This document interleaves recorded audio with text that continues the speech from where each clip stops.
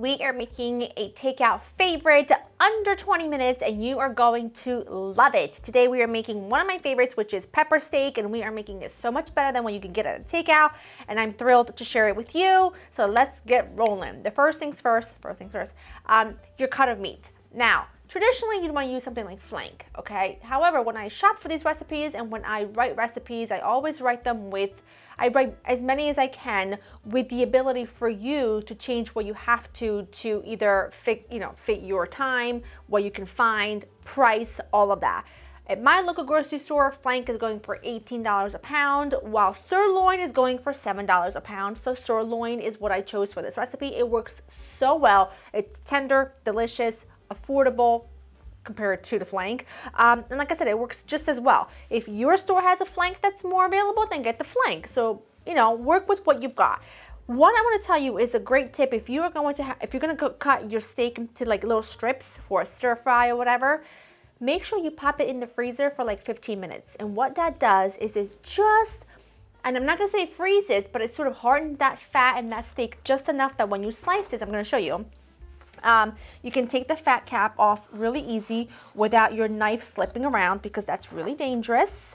And then look, look how much easier it is to slice it because it's the texture. You can just sort of, it's more stable. You know what I mean? And I'm gonna go ahead and slice it as thin as I can while getting rid of the major fat caps. Like for me, this is fine because it's little, that one's fine. That I'm gonna get rid of. Um, and then I'm gonna add it all to a large bowl. All right, beef is all thinly sliced. It's in a large bowl. To this, I'm gonna add a little sprinkling of cornstarch. And all that really does is when I go to cook it, is it just helps the beef adhere to that sauce a little bit better. You can skip it if you want to. A little bit of soy. And I'm just gonna go ahead and give this a little mix. And I'm gonna get that going. Now, I don't have a wok. Actually, I'm lying to you. I do have a wok. However, I really need one of those bases to my, my stove. Do you know what I'm talking about? Where you can take this thing off. Uh, we can take the, the grit, I don't even know what's called. I always want to call it the grit, but where you could take that off and you put the wok base on it so that the heat can really sort of mold itself around the wok. I don't have one of those, okay? So I'm just gonna use a large skillet. You're gonna do this in batches because one of the things that I feel like can take a stir fry from great to meh is when you steam everything rather than creating beautiful flavors, beautiful color, a beautiful sear. We don't want that. If I were to add all the beef at once, the beef will sear and it, it, the beef will steam and it won't sear. And that's not what I want. So to a large skillet, I'm just using my stainless steel. I'm gonna add a little bit of olive oil. This is regular, not extra virgin, so the flavor is really mild. While that preheats, I'm gonna go ahead and I'm probably just gonna cut like half of a green bell pepper, half of a red and half of an orange. And the reason why I'm doing that is because I am making like under a pound of beef. So I don't want to use too many peppers. Um, however, I want all the colors because I just think it's prettier. But really in total, you need about two bell peppers if you're using one pound. And I'm going to go ahead and just give them a nice chop like that. I want them to be really chunky. I don't want these veggies to get really soft because my favorite thing about a stir fry is that the vegetables have like a really beautiful crispness to them. Um, so you're gonna cook them for not very long.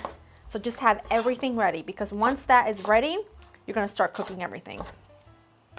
Add half the beef, spread it around. That's gonna only cook for like a minute. So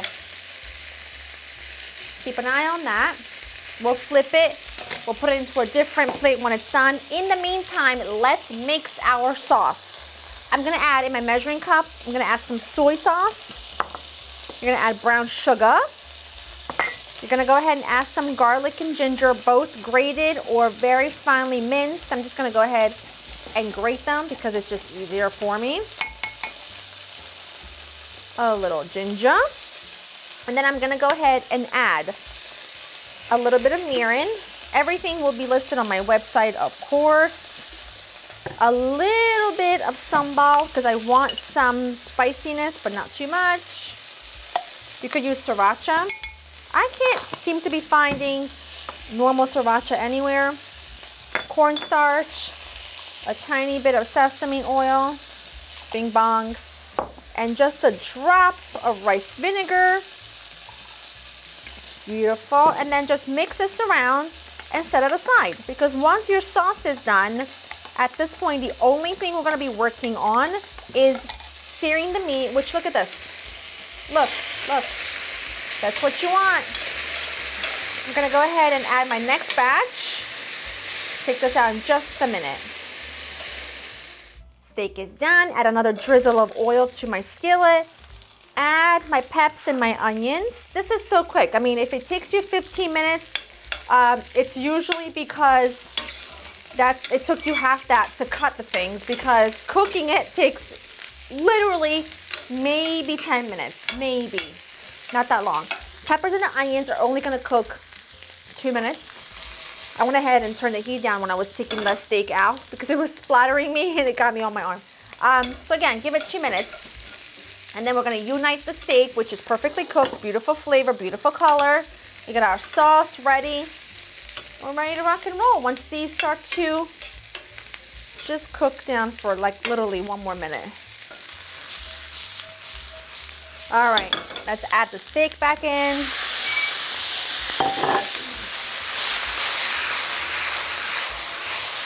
We are cooking with fire. Add your sauce.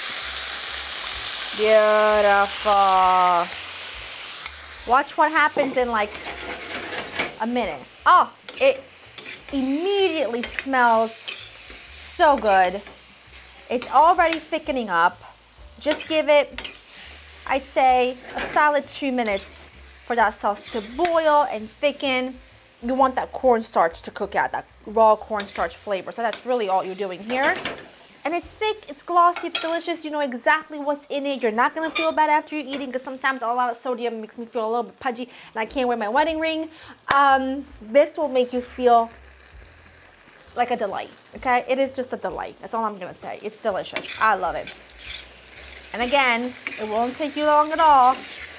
Pair with some white rice, cauliflower rice, noodles, brown rice, whatever. It's perfection. That is done. Glossy, beautiful. I'm gonna go ahead and add some scallions and some sesame seeds on top when I do go to serve it with my rice. Uh, but for now, I just wanna take a taste test.